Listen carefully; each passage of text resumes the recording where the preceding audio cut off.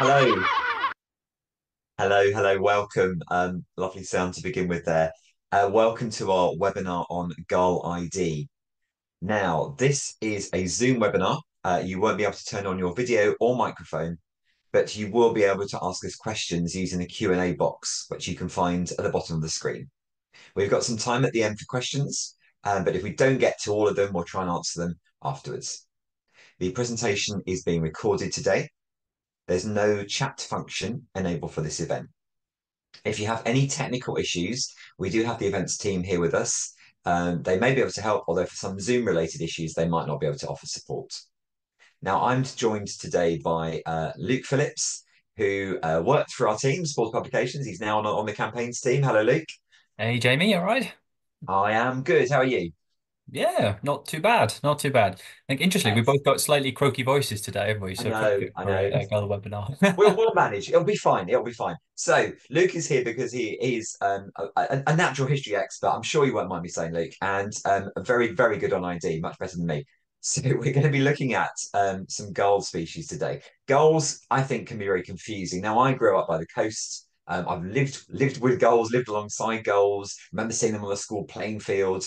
But you know, from a distance, they're there's kind of black, white, grey animals, black, white, and grey, grey birds, and it can be really tricky to tell them apart, unless unless you have some of the hints that we're going to give you over the next hour or so. Um, I think Luke, probably the best thing to start with would be like a, a standard gull. Do you agree?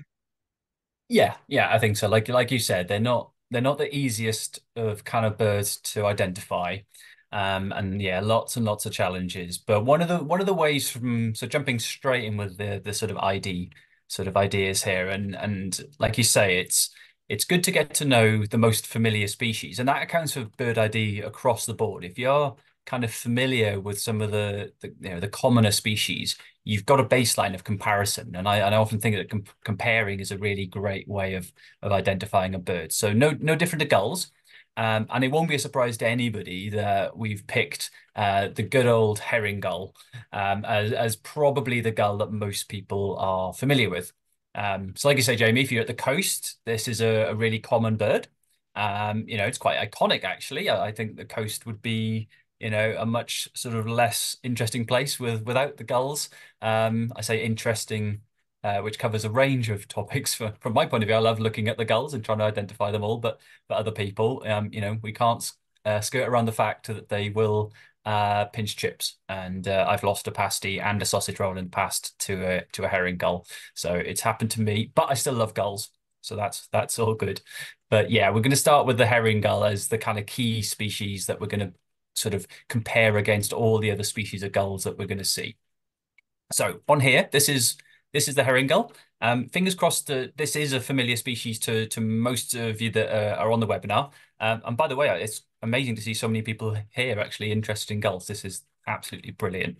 Um, so yeah, so you'd probably be familiar. So the, the big picture there is your classic white-headed, yellow-beaked, grey-backed, uh, black wingtips, it's got the pink legs as well. And these are all little features to kind of be looking at when you when you're thinking of gull identification. Um, the reason it's difficult to identify gulls is that when you start to go into the detail and you can see that bird in flight there that has lots and lots of speckling and patterns and browns and grays and blacks and bits of white. Um, gulls change as they grow up. So they start off obviously as chicks um, you might be familiar with them when they're when they're chicks, they're all speckly, and then they kind of grow up to be what. Um, oh, there we go, perfect. There's a a young herring gull right here. So quite different from that previous picture of that sort of grey-backed, white-headed, black-wing-tipped large gull. So looking at the features here, so where we've we've got the the beak. Um, it's clearly not yellow.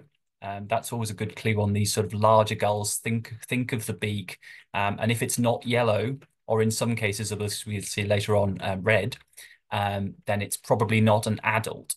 Um, also, the, the various speckles on the back there, you can see along the, the flank, the side of the bird, it's all brown and speckly. Then you've got the mantle, which is the, the back bit of the bird, and the, the really keen-eyed amongst you. If you if everybody kind of goes right up to the screen to try and see this in detail, there's an actual difference between the mantle feathers and the side feathers, um, which are which actually parts of the wings as they're folded up. Um, and the reason they're slightly different, one's browner, one's grayer, um, is because bird gulls molt, and that confuses things even further. So as they molt, they change different feathers, and it and all these little differences can help. Then we've got uh, just before the wingtips, which obviously the black bits that stick out. You've got a key feather called the tertial, um, which is mainly brown with those white sort of scraggy ends as well. And that's a good feature to look at gulls. Um, but generally, as we go through, yeah, we'll be comparing and kind of referencing back a little bit. Um, but just to show how gulls grow up, um, I, uh, I took the next picture um, in the car park at um, Radipole Lake Nature Reserve, which is, um, if anybody's ever been, um, it's one of the best places to watch gulls, or in fact, the car park of that nature reserve is the best place to watch gulls. Um, it's phenomenal, um, provided there's not too many cars in the car park, so mainly winter, there's plenty of space. Um, but here we've got working from uh, right to left. Um, you can see that there's a bird on the right there with a, a much grayer back, but still got all that mottling on the side. Still got the mottling on the tertials, um, but has its black black wings. If its beak wasn't tucked under its wing, you'd see that it's starting to go a titchy bit yellow, maybe at the at the very base, but um, certainly not dark like like the previous bird. Then in the middle, we've got, um, so but by the way, the right-hand bird is a second winter. So don't worry about all these kind of complex details. But if your bird your bird book will often say first winter, second winter, and all this sort of this sort of gull jargon as it as it as it is.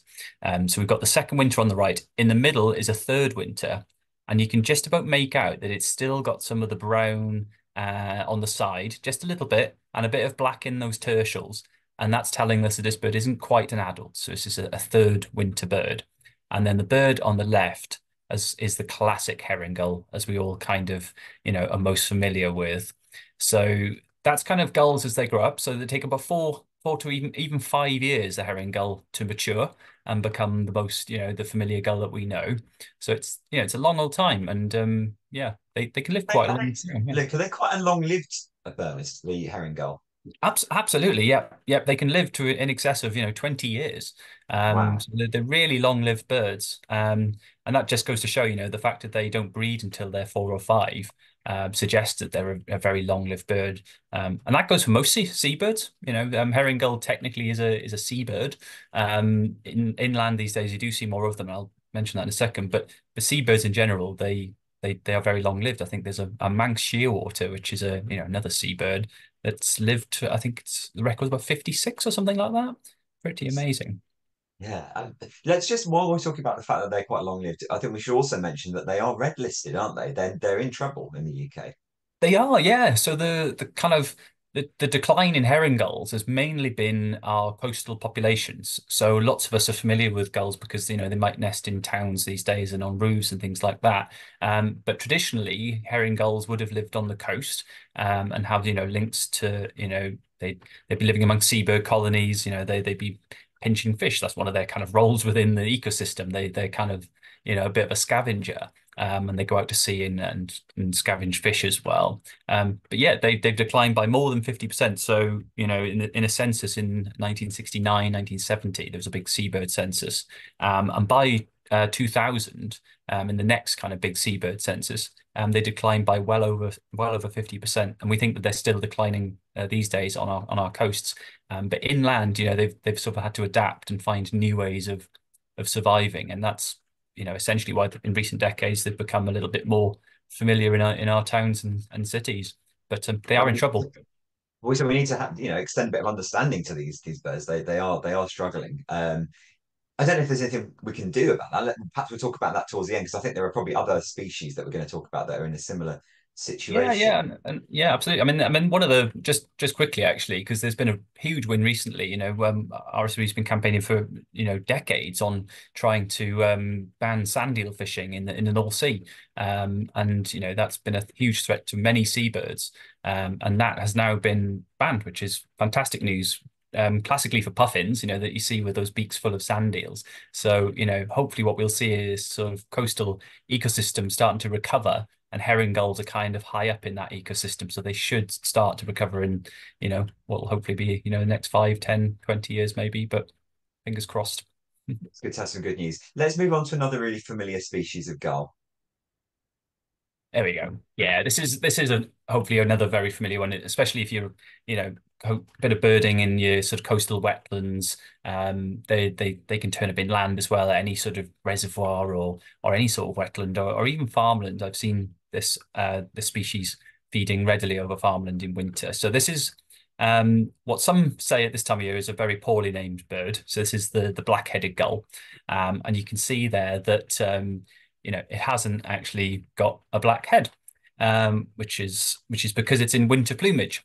Um, so when I was kind of talking and probably confusing lots of people about the herring gull and the first and second and third winter and all that sort of stuff, um, quite a few gull species have a winter plumage and a breeding plumage that you'll see in sort of spring and summer. Um, so that's just an extra layer of complexity for us to deal with. Um, but black-headed gulls, you know, there is a hint of a of a black dot on that uh, that bird's head. Um, and if we actually go to the next slide, it shows it a little bit bigger. There we go. So you can see on that picture, it's a bit smudgy, um, but does have a black dot. Um, and this time of year, actually, I, I usually use it as a bit of a sign of spring. Some of the some of the black-headed gulls I've seen recently are starting to get a bit more smudgy on the head. So, you know, clearly gearing up for the breeding season. Um, but you can see, that so going back to that herring gull comparison, um, it's a much smaller bird. Um, they're quite they're quite dainty actually, I'd say. Um, when they're flying around, um, they've almost got a, a sort of tern-like quality. Um, you know, if people have been to places like you know Minsmere Nature Reserve in in Suffolk in in the middle of summer, you'll see all the terns feeding uh, over the lagoons, are breeding on the islands, uh, and they look super elegant in flight. But black-headed gulls have a little nod to that. Um, I mentioned earlier on something about the beak, and this is one of the species with the red beak. Um, so that's a useful little tip. Um, and they've got bright red legs as well. Um, but, you know, I, I, always think of this species as quite an easy one to ID because of their size um, and because of that sort of smudgy black head uh, and the red legs. So hopefully an easy one. But if we pop on to the next slide, actually, it's got uh, this is one of my favorite pictures that I took at Radipole Lake. So there's been lots of Radipole Lake pictures, but this was uh, this is these are all the black-headed gulls that were lined up, um, waiting to uh, pinch bread off the ducks. That the, uh, the families were coming along every morning to feed the ducks. Um, obviously, bread is not ideal for ducks, by the way. Just to put that out there, um, much better to feed wheat and things like that. Um, but nevertheless, bread still gets fed to ducks, no doubt. Um, but the black-headed gulls were doing a great job of pinching it off the ducks. So there we go, kind of what comes around goes around. Um, but this was a midwinter shot, um, and you can see them all there with their slightly smudgy heads uh, and their and their red beaks. So I think do we have another slide actually? Yeah, we've, got one, we've got a, we've got a summer plumage one here, and at we this do. point, just to give Luke a break, I want to insert my favourite black-headed gull fact, which is that the the Kehaar, which is the gull in Watership Down, is actually a black-headed gull. Oh. So there you go, bit of literature literature reference there. Nice. Yeah. Anyway, here's one in summer plumage. Yeah, no, no, nice. Yeah, keep the keep the facts coming. Yeah, it's brilliant. Um, yeah, so this is this is um, a much much more sort of summer plumage bird, um, with the the the sort of well, I say blackhead. Actually, I mentioned earlier on about the name not really matching in the winter because it doesn't have the the blackhead in winter. Even in summer, it doesn't really have a a, a black head as such. It's more of a sort of dark chocolatey brown. Um, so it's not quite as jet black, but um, but just to confuse things further, I think it's uh, it's either Asia or maybe perhaps East Africa. There's there's also a brown-headed gull, which is a species we don't get here. So um, we can't call this one the brown-headed gull because that exists somewhere else in the world. Um, but um, yeah, so nice black head, very obvious. One extra thing about this particular bird, um, I was talking about the sort of mottling on the on the flanks of the bird and looking out for that as a bit of a feature. Um, so that will tell you on this bird that it's actually a first summer bird. So it's not a full adult. Um, a full adult would lose all that brown speckling on, on the side. Um, and if it was a little bit uh, more side on, you'd see the tertials are brown with white tips as well. Um, but, um, yeah, one, one of the most subtle features though, which I really love, is their, their little bit of white around the eye.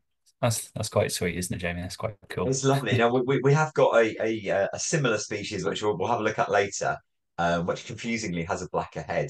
Um, but we'll come back to that one. I think then we've got one final shot of the um, of the black-headed. So this is this is it. This is how you will see them right now. They they won't be starting to change into summer plumage yet, will they? Mm, some are just on the cusp of of of changing. Um, so all all almost. But I yeah, so I'd say over the next few weeks, it's something to look out for. Look out for that black starting to to molt through um, quite quickly because uh, yeah they'll be they'll be thinking about breeding. But um, but just something quickly on them. Another aspect to gulls that actually I completely forgot to mention so far is the fact that they they migrate. Um, and I said that this is a bird that you know you might be familiar with in winter um, at lots of coastal wetlands and along the coast and inland. Um, many of our black-headed gulls um, head off quite a long way to breed. Um, lots go off to sort of Eastern Central Europe, some into Scandinavia. Um, lots will be moving all around the UK into their into their colonies, which are quite scattered around. Um, so odds are the birds you see, you know, along the coast, then they're, not local at all, um, but they are incredibly faithful. That's one amazing things. So I I've been uh, ringing gulls for for quite a long time. So when I say ringing them, not phoning them, uh, I've been sort of handling them and putting little metal rings on their legs, which have got a unique number, which is which is a good way then of uh, identifying that individual bird in, into the future. Um, talk about about that a little bit more later. Um, but black-headed gulls, um, one in Weymouth that I ringed, um, I ringed it in say I think it was about January February time.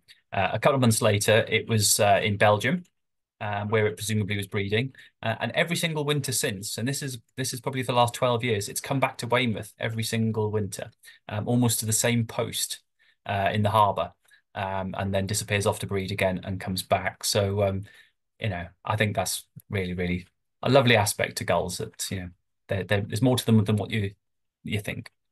It really is. Now, um, I know I said we'd save questions to the end, some most questions to them, but I've got a couple that are quite relevant now. So, okay. um, I know we were just saying that a lot of the girls, these girls won't be changing yet, but Rona is saying, I don't know where you're based, Rona, but Rona is saying she she's uh, seen quite a lot with some plumage in winter. What's what's going on there? Are, are they a bit um, confused? Are they started early? Yeah, uh, yeah. I mean, on a, as a general rule, um, they're they're only sort of just as a whole population starting to think about breeding now. But you do get some anomalies in midwinter, um, and and regularly I'd see birds in Weymouth. You know, I mean, in in flocks of several hundred, there'd often be two or three that have almost a full black head, even in the middle of winter.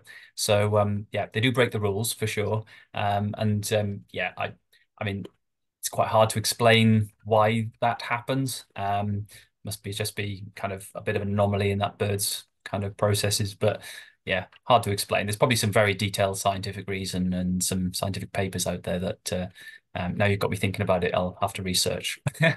gulls don't follow the rules. Someone else has said, why do they change the colour of their plumage? I think that's such a big question. That's a whole webinar in its own.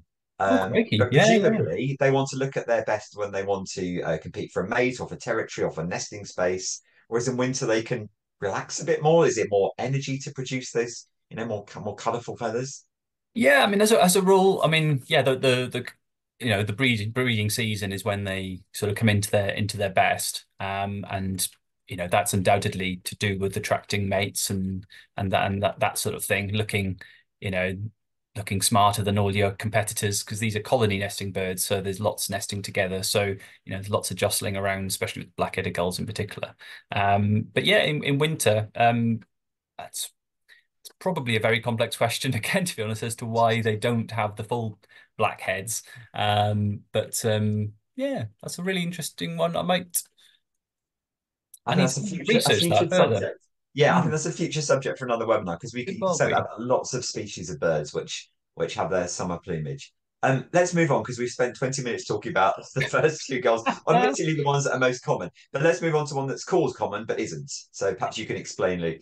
Yeah, so this is yeah the, the common common gull, which um, as it turns out isn't overly common. Um, so yeah, the name uh, the name common gull was well, I think it was sort of coined back in the 1700s. Um, by somebody who I can't remember his name, but um, it was on the basis that it was the most numerous gull that that person was familiar with. Um, but there's another a bit of a story around the fact that this, you know, the name common gull comes from the uh, based on common land or you know feeding out on on the common, you know, pasture land essentially, farmland, um, which I think is quite accurate uh, because when you do see this bird, it is often associated with um, inland um, and feeding on farmland. So in winter, they're distributed all over the UK, um, but breeding wise, you kind of need to be up in Scotland, uh, lots of the Scottish Isles, uh, and even in the uplands in Scotland, upon the moors, um, common gulls nest in little colonies. Um, but so generally a winter bird that most of us are going to see. Um, so pop on to the next slide, we've got the, the comparison, which is really useful. So got the familiar herring gull there. Um, so this is slightly smaller, but not as small as the black-headed gull. Um, so that's a kind of key thing there. This isn't um, super small, but a bit noticeably smaller than the herring gull. Um, it's got a darker grey back, um, a little bit subtle, I know, but that's one of the the keys to sort of successfully identifying gulls is is starting to get a good eye for you know what we might think originally as quite small details, but um, they do matter with gulls. So they've got a different sort of slightly darker grey back. Um, generally in winter when we see them, it's got a speckly head. Um, it's got a little yellow beak and bright, well, fairly bright yellow legs. Um, but they've got an interesting look about them. And and actually, if we move on to the next slide, I've got um, there we go. Back to Radipole Lake Car Park. It's my it's my comfort zone. I think that that car. You park. should do a book on car park birds, Luke. I think that would be great. Coffee table. Can I just say with the legs, they look a little bit more green in this one, don't they? Yeah, yeah, and that's a winter thing again. Um, Yeah. so you know the what we call the sort of the bare parts, the beak and the and the uh, and the legs. Uh, in winter, they lose that sort of vividness, um, and that goes back to that question you're on about. You know, the, the breeding plumage changing from summer to winter. Um, same applies for for beaks and and legs. Actually, they do get brighter. Um, so yeah, so this is a this is a winter bird again, mid really midwinter. So it is a little bit more greeny. Um, but they've got a, a really sweet, sort of almost cute look about them, and I think it's because of their eye. Um, this is this is an adult bird, tells us that because there's none of that brown speckling along the sides. Um, but yeah, that lovely little black eye, which I think makes them look um, incredibly sweet. Um, and there's there's possibly the same bird actually that took off and kept snapping away on my camera. Um, you can see that black eye there, but this shows another feature which I use quite readily on on um, common gulls. Um, in flight, um, and again, this this is not the easiest feature to go on, but it is noticeable. Next time you're out birding and you see common gulls, um, do have a look for this. Um, so you've got on the wingtip, you can see the black, but it's um, at the very edge of the wings. It's got quite a big um, white sort of splodge, um, white window as we call it. Um, but that's that does stand out to me for for common gulls, uh, more so than say um, you know, a herring gull flying around, which kind of has a similar-ish pattern, you know, the grey wing with the black wing tips. It's got small little bits of white on the tips, but not much. Um, and the black-headed gull doesn't have this at all. Um, it's just got a black sort of thin line that runs along the edge of the wingtip. Um, so that's that's another useful tip that hopefully helps people uh, identify uh, identify the common gull, um, which, as we know, isn't overly common. But here's a video anyway of a common gull on a common. This is in breeding Yeah, season. it's a, it's, a, it's a very pretty gull. And if we were, if actually, if we were talking about gulls in summer, we'd probably also mention the kittiwake, which also I think has that lovely soft eye. Um, but that's for that's a future topic. That one. Let's Yeah, move good, on yeah. now to um, lesser blackback gull. Yeah, this is this is one of my one of my favorites, bizarrely. Um, never really sure why, but maybe I'll explain somehow to myself as I as I talk through this. But um, but this is one of the sort of probably quite familiar gulls to a lot of people in that it's it's one of the bigger gulls. So I always think bigger gulls are just more noticeable because you know as you bird watching you you just spot them easier. They're very obvious. Um, they they've got a tendency they they live in certain towns and cities as well, um, which makes them again quite obvious. Um, but similar size to the herring gull, um, but clear differences uh, to the herring gull in that that the, the back, as the name suggests, um, is pretty dark, um, not quite black. Um, they're generally in the UK sort of dark grey. Um, if you go to Scandinavia, interestingly, they are actually black backed. Um, in, in fact, the birds you get in Finland uh, are really, really almost jet black. They're really smart looking birds. Um, but so you've got the, the dark grey back. Um, again, the, the nice white head, what and beak's very similar to herring gull. Um, legs on this one, uh, nice bright yellow. Um, and that's a really good clue if you get to see the legs of the species, nice and yellow, um, as opposed to pink on the herring gull. Um, but generally, you know, going into real minute details here, which, you know, gull gull lovers love to go into the details. Um, they're sort of a slighter looking bird than the herring gull. They're slightly longer winged, um, and they, it just gives them a little more elegant edge to the to the sort of slightly uh, brutish herring gull. There we go. I've said it, brutish herring gull. That's uh, hopefully not not too mean. Um, but again, back to Radipole Lake Car Park. It's um, it's brilliant for gulls, and this is a this is a um, well, this is this is this will um, this is uber uber detail now. Um, but uh, as as you look at that bird, you'd assume it's an adult uh, lesser black-backed gull because it's you know it's harder to see this any speckling because of the darker back, but there isn't any on that that bird's back at all. It's all one uniform smooth color, so you'd think it's an adult. But if you look at the beak, there's a tiny little bit of black, which is uh, just towards the tip, and that just tells you that this bird is just just a little bit short of being a full-on adult. Um, but um, but that particular in particular, it looks really really sweet. Um, but I, th I, th I, think though, Jamie, one of the reasons I uh, oh this picture, you know, I, I find this one.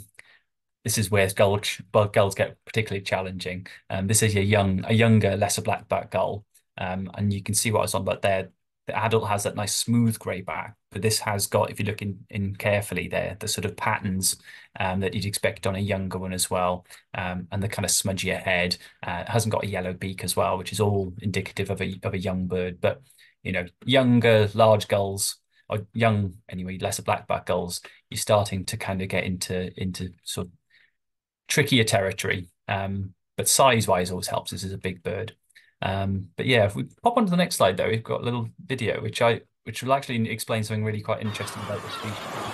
So lesser black-backed gulls to me, um, being down in Dorset, um, not many breed in Dorset.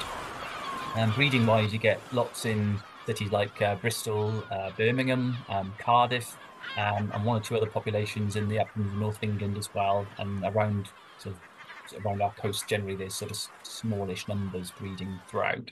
Um, but in winter, they lots of them migrate. So uh, down here in Dorset, when you start to see them, um, it's often around sort of late February, early March when the first start to appear, almost out of nowhere. And to me, they're almost like you know the first swallow of spring. They're a real kind of uh, indicative spring migrant that's starting to come through. So um, I've not seen any, seen any around me all winter um, so far. So I'd expect if I'm keeping an eye on the local herring gull population down uh, down on the nearest uh, bit of beach, I might start to see one of these uh, migrating through. Um, and they migrate all the way down as far as uh, West Africa, believe it or not. So um, almost the same journey as a swallow would do uh, in the spring. Um, lesser blackbacks are doing um, into the UK, but we do get some lots overwintering as well. So it's um, it's not a clear cut picture as to their migration, but um, but still amazing nonetheless. It's part of why gulls are so fascinating, isn't it? They they break the rules. They don't all do the same thing. Even the ID is is not. You know, it, it we, we can tell what species it is, but it's, it's tricky. There are little are little minute details. Let's just go. Can we go back to the previous slide? We've got a question from Sam, who says that particular one that we were showing just before the video seems to have pink legs. Now, is that a juvenile or a winter thing? Yeah, yeah, yeah. So lesser black-backed gulls only really get their yellow legs when they're pretty much adult. So um, yeah, up until that point, up until about four years old, they don't have the uh, the yellow um, legs, um, which which does lean into the the point around um, using the kind of size and structure of the bird as a kind of indicator of of ID. So if you saw this bird, you know, on say Radipole Lake Car Park, for example, with lots of other gulls, you'd notice that it's a big bird, um, you know, about the same size as the herring gulls that'll be around it. Um, but you could you if this bird in particular was there, you'd notice that the back is much darker, um, and that would tell you straight away that it's not a herring gull. So your most likely other option is the lesser black-backed gull, um, or in fact the species we'll move on to next. But um, yeah, it's yeah. So good good point about the legs, um, but it does mean you have to kind of lean on other features to to try and identify gulls often if they're not in that full adult plumage. So yeah, easy to get caught another another ID question from Alison. So she's asked us if we can talk a little bit more about the differences of goals in flight, mm. uh, hmm. because obviously we're showing a lot of pic static pictures. We, we, have had a few pictures in flight, and you mentioned the common gull. Um, so yeah, if we can touch on that a little bit as well. Um, but size is going to be a big part of that, isn't it? That, yeah, absolutely. Yep, size is always always a good good clue. Um, and basically, I think with um, with with a lesser black-backed gull, it'll look generally on its back anyway, just very dark in flight. Um, you know, because it's got that darker back, uh, as we call the mantle color. Um, it doesn't contrast as much with the wingtip, um, which you can see on this this bird in particular is a is a jet black wingtip, um, it doesn't contrast that much with the rest of the back of the bird. Um, so that will carry for, through in flight as well. Um, and um, there's a couple of slides I think later on actually of, of some sort of birds in, in, in a bit more flight. So actually we can we can touch on this a little bit more later again. Um, yeah. But yeah, size, like you say, Jamie, size is, is a key thing. Um, and leaning on that sort of, you know, does the wingtip contrast dramatically or not so much with the back color as well? That's all useful, useful stuff to be picking up on. Yeah, thank you, Alison. We'll touch on that a bit more later. Let's go to go past the video. Oh, isn't this the greatest, the greatest, the biggest gull in the world? Is that is that true? It is, yeah, absolutely. We're we're, we're quite lucky in the UK to um to get the biggest uh, gull species in the world, the great black-backed gull. Um, and uh, yeah, this is this is actually a bird that I uh, that I found over the years uh, talking to lots of people about gulls. Um, is is one that's strangely more difficult to ID for some reason. And I think it's just because of sort of a few sort of myths and perhaps some old bird books that kind of talk about certain features. But for me, this bird generally stands out quite, you know, almost by a mile because of its size. It's enormous. Just looking at this bird sort of in isolation without comparing it to anything else, you know, the size of that beak is enormous. Um, and it uses that beak for uh, for things like breaking into carcasses on coastal, you know. So if you imagine a, sort of cetacean carcass or something washes up on a beach, great blackbacks will be the the first bird in there to start um, breaking through uh, and start eating the eating eating whatever is available. Um, but um, yeah, so if we pop in there, there we go, perfect. So just to compare it, um, you know, it's a it's a big old bird. It's got a very dark grey back. Um, again, not quite black well, it is almost black, I think, with this one, to fair, fair to say. Um, and it's got pink legs instead of uh, yellow compared to the lesser black-backed gull. Um, so that's, I think that's where, I think traditionally that's where lots of birders have been tripped up, I think, when thinking about gulls, is that you rely on the leg colour quite a lot because the books show you know they they point out one of the key differences between great and lesser black-backed gulls is the leg color um, and what they sometimes fail to sort of focus on is the fact that great black-backed gulls are blinking enormous um, compared to the uh, the lesser black-backed gull. Um, so if actually if we go to the next slide, that shows, I think it shows the um, the kind of difference quite nicely in that, uh, yeah, so on the right is a great black-backed gull. And you can see the other three uh, terrified of it um, because it's taken their space and it's clearly very dominant. Um, they're all flying off, and they're lesser black-backed gulls. Um, and to me, they're they're sort of dwarfed by comparison, aren't they? They're they're really quite small.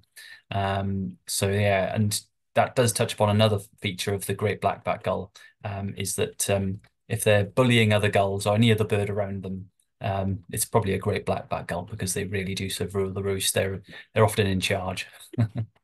when we when we're talking about the flight, just going back to the flight question earlier, mm. are we thinking of something that's almost kind of buzzard sized, that, that kind of thing? We're, we're looking at these. Uh, so I, I would say great blackback are sort of almost you know bigger than buzzard size for wow. sure. Um, yeah. you know they're very long winged and very bulky in in flight. Um, and you know it's not uncommon. You know, I I go bird watching in in Poole Harbour quite a lot, and uh, you know often looking out for ospreys in the summer and the autumn.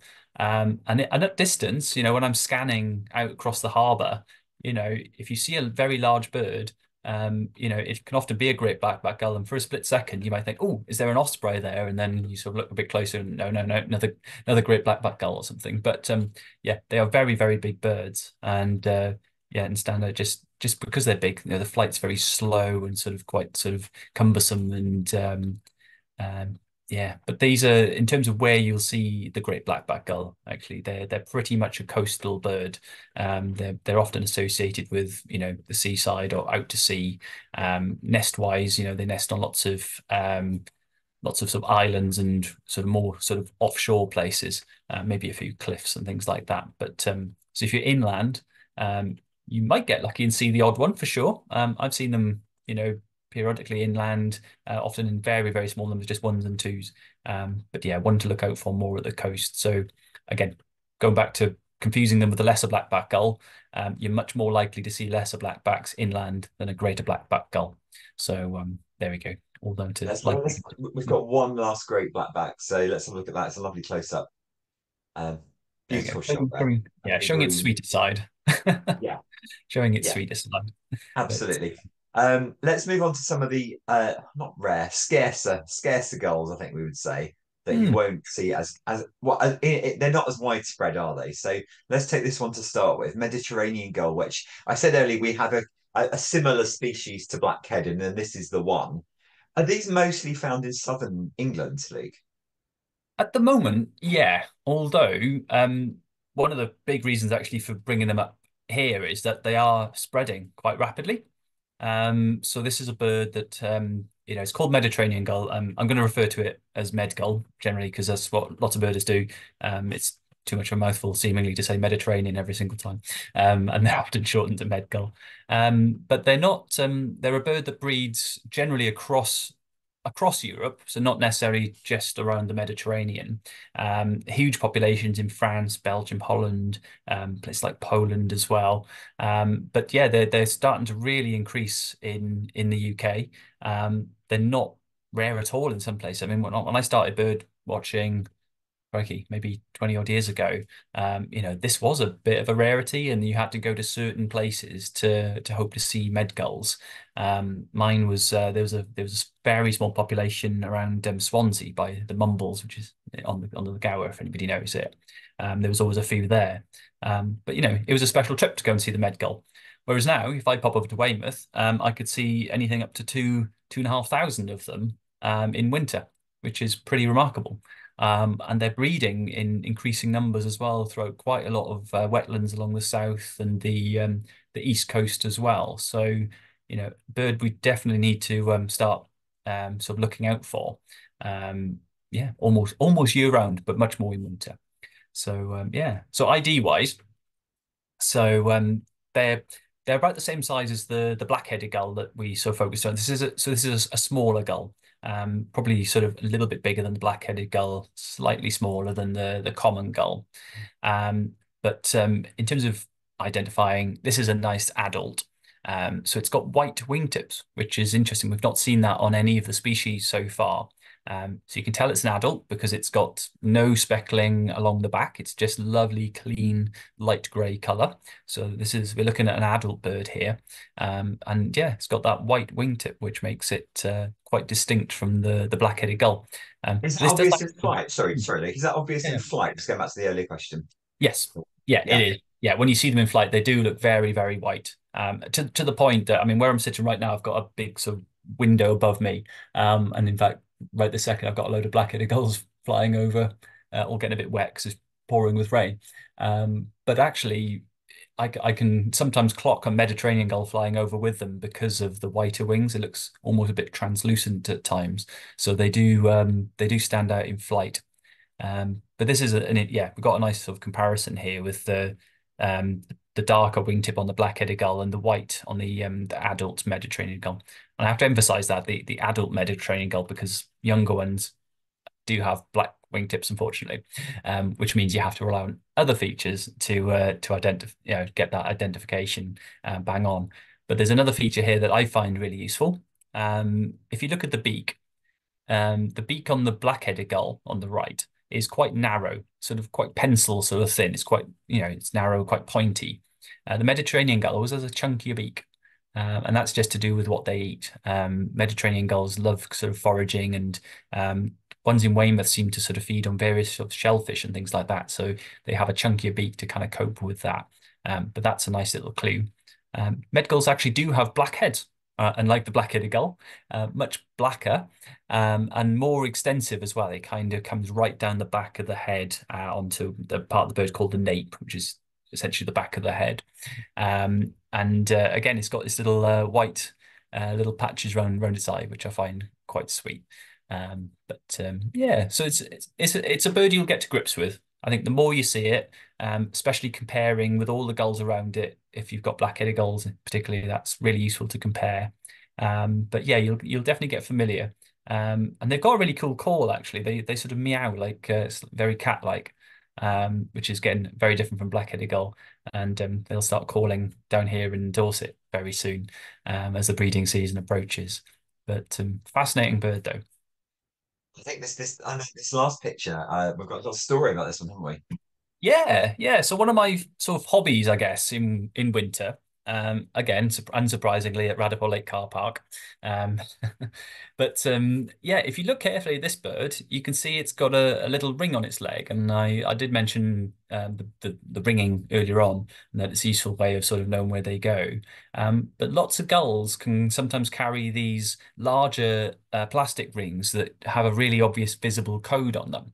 Um, so if you've got um, if you've got a telescope or a good camera, you can often kind of get a picture and zoom in uh, and see see the see the number on that bird. Um, and this particular bird, uh, so was it 3C38. Um, so this was one I, I, I, took a picture of uh, a number of years ago. Um, but I dug out the life history of this bird recently. Um, a friend of mine who's uh, who's from Belgium, uh, Renaud, he, uh, he, he very kindly sent me the the details. Um, and this was this bird was ringed on the 21st of May in 2005 um, as a chick. So somebody would have gone to the colony and uh, put rings on as many chicks as they possibly could, um, and then kind of leave them alone. Um, and then from there, it turned up in Weymouth in autumn 2007, um, and kept coming back to Weymouth every single winter until 2015. So this bird was unfortunately it just, just disappeared from there um, because it was regularly seen throughout, throughout the whole of its life. It was recorded uh, 85 times um, by lots of different people, um, lots of them in Weymouth, um, quite a few of them in Sussex as well. It used to have a little holiday to Sussex quite often in late winter. Um, but it builds up a fantastic life history of, you know, where the bird came from, where it's wintering, um, you know, and then where it goes off to breed and the movements between those locations. And it and it does give us that little bit of insight into what's sort of changing with med gulls. Um, and they are definitely shifting and choosing Britain to to come to more, especially in winter. So um, yeah, it's fa fascinating stuff. And if you see if you see a, a ringed gull and you a ring a gull with a ring on its leg, I won't, I won't start talking about other species. A gull with a ring on its leg, um, and you can read it. There is a website you can go to to look it up. That's right, isn't it? Yeah, absolutely. Yeah, yep. Yeah. Um, yeah, we're going to pop that in the in the chat, I believe. Um, yeah. There we go. Abipop, crbirding.org. It's it's great. You kind of go in and you select all the different sort of the species that you've seen and the color and the codes of the ring. Um, but if you do see one and you send off the date, the uh, the your sighting, um, you get its whole life history sent back to you, and it's it's brilliant to see you kind of adding to that uh, sort of big data set, and you can learn more about the birds and and that car park again. Um, I spent well, in one afternoon once, I recorded, I, am sure it was seven different countries where medgulls had originated from. Um, and there was even a bird from um, Serbia. Uh, there was one from, uh, there were several from Germany. Uh, there was a Polish bird there. There was also uh, one once from Italy, um, which I've only ever recorded one uh, Italian medgull, and it was ringed near Venice, uh, the big lagoon near, near Venice, which I I kind of painted a fantastic picture in my mind of where that bird bred, uh, sort of gondolas and all sorts of things floating around it, but um, probably not the reality. But hey, um, but yeah, it's really really worthwhile um, and a bit of citizen science that um, you know everybody can get stuck into. So um, yeah, bit of fun on the side. okay. Brilliant fun, but as you say, useful data. Uh, we've got two more species to look at. Let's look at uh, the yellow-legged gull. So again, not one you're going to see regularly or in large numbers. No, no, absolutely. Um, but again, is is one to be sort of aware of as a species that's increasing in the UK. Um, from an identification perspective, this these are hard to be honest. Um, they're kind of um, how best to describe them? They're kind of they're quite herring gull like in lots of ways, um, in terms of that sort of lightish grey back, um, dark wingtips. Um, it's got yellow legs, obviously, as the name suggests. Um, as an adult, um, some you know we talked about earlier on how the the leg colour isn't always necessarily um, applicable until it's a, a, full adult at about four years old with with this species. Um, so at that age they get the yellow legs. Um, but they're a bigger bird actually than herring gull. That's one thing I've always spotted with them is that they're they're a bit bigger. Um, the beaks are chunkier, um, and they're a little bit more, even more brutish than the herring gull. I've seen them bullying herring gulls. They go around and push them out the way. Um, but it's they are increasing in Britain. Um, there is a the odd pair starting to nest. I think up until a few years ago, it um, and probably still is our rarest seabird nesting in Britain. I think there was always just one pair in Poole uh, for a number of years, but they're likely to start increasing at some point. Um, but if you go abroad, um, so I'm thinking, you know, lots of, uh, you know, Spanish seaside resorts, uh, for instance, um, the the commonest gull and probably the only gull you really see uh, around those sort of areas are the yellow-legged gull. So um, if you're if you're on holiday soon, um, then you can get very familiar with the the yellow-legged gull because that's that's what you'll that's what you'll be seeing essentially is uh, is this sort of very Mediterranean species, um, but pushing north quite quickly. We've got another picture now, which is this this picture is slightly baffling, but perhaps you can explain it to us. Yeah, this is uh, so portraying myself as rather sad here. I used to spend all my afternoons, you know, in the in the winter time, uh, you know, doing this sort of stuff, uh, but looking for these sort of de minute details. Um, so in terms of the the mantle color, um, the back color, um, so the bird in the I say the middle, um, you can see the kind of three big gulls in that picture. Um, the sort of middle one um, is your your adult herring gull with a nice light grey back. Um, the bird on the left, um, and you can see its yellow legs there, um, is the lesser black-backed gull with that darker grey back. Um, but the bird on the right is essentially an intermediate between the two. Uh, I'd say anyway, it's kind of that that grey is a is a sort of mid grey between the herring gull and the lesser black-backed gull. Um, and you know, I think if you squint or use your imagination, you can sort of see it slightly chunkier than the herring gull, maybe. Um, again, very small details. Um, and that but that bird in particular, I think from memory, when taking that picture, it was something like a fourth winter bird, so it wasn't quite full full adult. Um, so the leg color in the in that on that bird isn't quite full on yellow yet, but it it definitely has a yellow tint. Um, but these are the sort of details when you get uber into gulls and you've kind of mastered all the common ones. These are the sort of things you start to look for. So the, the last girl we're going to look at is I, I think this is one of my favorite because I've seen these on in the, on Norfolk coast at places like Titchwell. Uh, let's go back to the previous one, please. It's uh, the Glaucous gull. Yeah. Oh, lovely. Yeah, and, and from an identification perspective, these actually are not too tricky, um, but they are sort of a, a, winter rarity in the UK. So we, we only see these in winter. Um, often they're first winter birds, they're young ones as well that have kind of come down all the way from the Arctic. Um, so yeah, there's there's there's two species actually to, to talk about here. There's the Glaucous gull, which is which is this fella, um, with its uh, big old chunky beak, um, always two-toned. It's kind of pink at the base and black at the tip. Um, and then there's also the Iceland gull, which is very similar to this, um, bit daintier. That's kind of that's all really. Um, but the key for this bird is that it's a big gull. Um, Glaucous gulls can be almost the size of great black-backed gulls, but they've got white wingtips and that's that's always the the key to identifying you know the the Iceland gull and the Glaucous gull. It's one of the big gull species, so you know not to be confused with the med gulls with its with their white wings as well. They're much smaller. You wouldn't confuse them with with one of these for sure. Um, so this is a big gull with white wingtips. Um, but yeah, each winter's different though. Some winters we don't get many in the UK. Um, some winters we get quite a lot. Um, and it depends on the conditions right up in the Arctic as to whether they they venture down um, or not. And um, you know they're they're very scarce where I am, right on the south coast. But you know, like you said, Jamie, in Norfolk you get them, um, and the further north you go in Britain, the more likely you are to encounter uh, one of these uh, white wing gulls, as we kind of generally call them, Iceland gulls slash glaucous gulls. Um, but um, yeah, but they do stand out. Um, they like a harbour. I've seen lots just hanging around harbour, um, often on their own, um, because they're a bit of a rarity. You're not off, you're not going to get sort of flocks of these things. Um, but um, yeah, it's an extra added challenge, and you know, it's exciting when you find a any rare any rare bird. Um, but this is this is one that uh, you know is always exciting when um, when you're gull watching. Talking of flocks, the last bit we've got is a flock. what, what, was, what was going on in this one? Yeah, so this this is a is a great way to sort of um, sum up really gull watching because you know we've said all along that it's it's a challenge. Um, you know, there's lots and lots of things to consider. Um, it takes time to really get used to all the different gull species and how to identify them uh, and picking out the details. Um, it's it's not easy.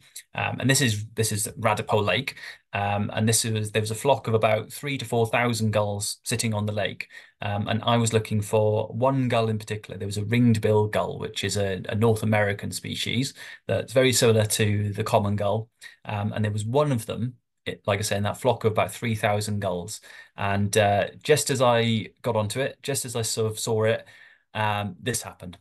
And then it takes you another hour to find it again. um, but, you know, it, it, just goes to show what can happen when you're gull watching. Um, in theory, you know, all these hint tips are really useful and the bird books are really useful. Um, but out in the field, yeah, when this happens, it's always a bit of a uh, big sigh and uh, Yeah. start start again. Yeah, But open it's all good. thermos, have another cup of coffee. Um, this would make a great jigsaw, I think. Picture. Oh, Um, we have Yeah, had some questions in actually. Um, so I'll do the Mediterranean gull questions first because there's, there's quite a few of them. Okay. Uh, Hazel, who I think shares your interest in the car park at Radipole Lake for gull watching, um, says that there's a lot of Mediterranean gulls uh, amongst. Hazel only ever sees Mediterranean gulls amongst black-headed gulls, including the car park at Radipole Lake, never on their own. Um, is that a case of safety in numbers? So the Mediterranean gulls hanging out with the black-headed gulls, and also, what is it about the car park at Red? I mean, we, we, we need to stop talking about the car park at Radipole. Like other other nature reserves are available. Um, what is it about the you know places like that that makes them so appealing? Yeah, so it's a kind of safety in numbers principle. Um, the flock is always always you know in it's always that principle applies. I think with gulls in particular, um, they often congregate around um, good food sources or good roost sites or good you know uh, somewhere to sort of bathe or drink or something like that. Um, so it's it's generally because the location is great for gulls that you get these flocks. Um, so yeah, that's that's kind of why you see them in Yeah. flocks. Um, but Okay. Radipole Car Park in particular, the reason that's that's great is there's lots of feeding nearby. There's there's the harbour, there's Weymouth Bay, which is lots of food. There's the the Fleet, which is uh, the bit of water um, near Chesil Beach, uh, the world famous Chesil Beach. Um, so lots of feeding opportunities, and med gulls are well known for going inland to feed as well. And near Weymouth, there's a lot of kind of arable land that they go off and feed on. So lots of food. Radipole Lake in particular is is good. They roost in Weymouth Bay, um, but Radipole Lake is en route to Weymouth Bay. So um, they've been feeding all day. So you can imagine the med gulls, you know, dipping into the sea or feeding in muddy fields. Um, you know, they're eating all day long, getting getting messy as well. They're getting salt all their feathers and mud and stuff. And um, they often like to have a bath before they go to bed, which is which I think is quite sweet. So they drop into Radipole Lake, have a quick bathe. They dry off on the car park which is why they like to sit on the car park. Um, they Yeah. they often preen um, and just kind of dry off and sort their feathers out on the car park um, before heading off to roost then in Weymouth Bay. That's Um, really sweet. And and you can imagine like gulls up and down the UK doing exactly the same thing. yeah, Um, two other quick observations on um Mediterranean gull. Neil says Brownsea Island's good for them. Yeah, yeah, yeah. But that's we we we was we were thinking so too. Um, uh, Alan uh, in uh, says we um we see the Med Gull in East Central coastal Scotland at this time of year. So they are they are sort of yeah. spreading about. Yeah. Um, then Conrad says one of the pictures of Med Gulls showed a grey blotchy head. Do the heads change colour like black-headed gull? Yes, they do. So in winter, it does the same thing as a black-headed gull, doesn't it? Yeah, yeah, that that is right. Um, but one key difference actually, the black-headed gull tends to have a bit of a spot in winter behind the eye. Black-headed gulls have more of a mask, more of a smudge. So the, the Mediter- Mediterranean gulls is, is smudgy, black-headed gull is a little dot behind the eye. that's right. Yeah. Yeah.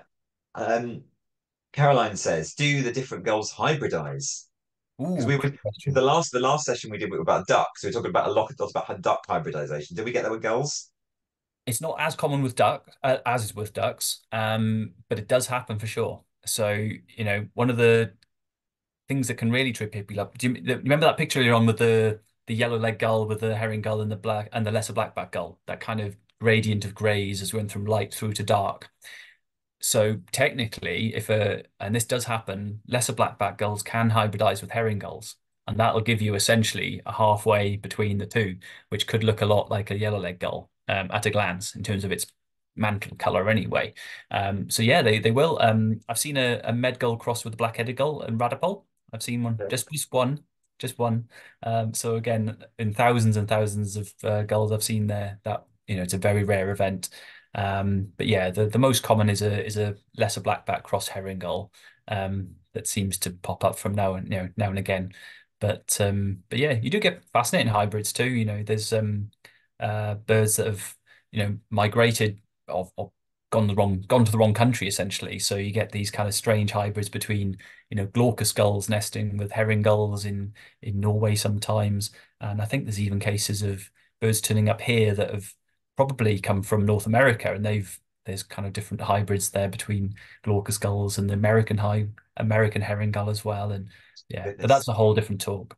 Yes, that's a more that's more advanced. Um, Neil says, "Why do gulls tap their legs up and down on grass?" Now I've seen this. Seen. I think herring. I think herring gulls, maybe lesser blackbacks, do this. Yeah, Um, that mainly mainly is, herring. yeah, go on. Yeah, mainly herring gulls. Um, I think uh, that's the only ones I've seen doing it anyway. Um, and it's a it's a little sort of rain dance essentially. So it's a little dance that mimics rain hitting the soil, uh, which makes worms come to the surface. So um, and then they eat the worms. Yeah. So pretty clever. Um, And, and this, is something we, we, we keep trying to emphasize in this in this webinar that these are very these are clever birds. They're they're klepto well, a lot of them are kleptoparasitic. They they know if a if a bird or a human is accessing food that they can't get to themselves, that they can go and snatch it. And they they learn these techniques. I mean, gulls, I think, as well as crows, will drop shellfish from from a height, won't they, to, to break it break it open. yeah, So yeah. they're they're they're bright birds. Um, I've got one. We've got time for one final question. This is from Okay, Amy, super quick Go I just go back to that last question on the go on, um, go on, go we're running out. I realize we're running out of time. But yeah, one of the things that really shows that they're super clever. When I when I catch them to put the rings on, um, I've got to kind of lure them in with a bit of food and I kind of hold them. Yeah. You've got to be good at it, very careful. Um, but when I'm doing that, I have to take about three or four different uh, types of clothing and different colored hats and things because once I've caught one or two, they know exactly what I'm up to and they won't come near me. I have to change my whole clothing, then try again. And might catch one more, but then I have to try a change again, and um and and they actually remember you week by week. So um, I have to change locations all the time. It's Oh you know they're they're really really clever birds. So uh, my yeah. goodness. So the, yeah, so you're wearing lots of different disguises now. Gosh. Um, Bev says we often see gulls on inland water now. Does this cause a problem for other inland water birds, like competing for food? Um, potentially. I mean, when we see big numbers of gulls at sort of inland uh, sort of reservoirs or wetlands, they're often kind of roosting there, so they're not generally feeding or doing causing much other sort of problem to other birds. I'd say anyway. So, you know, lots of their feeding will be done at um, places like landfill sites. You know, they do love going to a landfill site and scavenging. So, um, they're probably not impacting other birds um, too much. So, um, you know, I so I think generally they don't cause too too much of an issue in that respect, I think. Good to know. Um, right, we're going to wrap up shortly. I just wanted to let you know that we do have some more online sessions for members coming up. Uh, these will be in April and May, and we're going to be looking at bird migration. So um, don't worry about writing all these down because we will send you an email after this session with all the links to register. But essentially, 23rd of April, um, and these are all 12 noon to 1 p.m., by the way. Uh, some lunchtime. We're going to be doing a spotlight on Swifts. Uh, very excitingly, we've got Swift campaigner Hannah Bourne Taylor joining us. Um, thank you, Luke, for setting that one up. But we're going to be talking all about Swifts. 30th of April, um, we're talking talk about special places, so all the places that are important to migratory birds. 7th of May, we're talking about working internationally, how we protect birds along the flyway. We talked a lot today about all the different routes and places that gulls go to. But you know, once you open that up to all the different migratory bird species, there's around 50, I think, that we say migrate to and from the UK uh, for, and spend the summer here, for example. Um, you know, we talk about protecting birds along the flyway. And then the final session is the 14th of May when we're looking at some of those really amazing journeys and exploring the secrets of bird migration. As I said, don't worry about writing all that down. We will send you all those links after this session. We're also going to send you a quick uh, survey. Um, we welcome your feedback. Do let us know any other topics you'd like us to explore in the future. I'm always keen to provide what we can for RSPB members. And at this point, I should thank you as an RSPB member for everything you do for us because we couldn't do all this work um, without you. We couldn't run all the nature reserves. We couldn't do the international work. We couldn't run Big Garden Birdwatch. Um, none of this would happen without your support. So thank you very much. And talking of thank yous, um, I think I should thank Luke because he's done most of the talking today. Thank you so much, Luke, um, and for answering all those questions. And Anna and Claire from the events team who've been absolutely brilliant keeping this running smoothly behind the scenes. And thank you all for watching. We hope to see you at our next session. Thank you and goodbye. Thank you.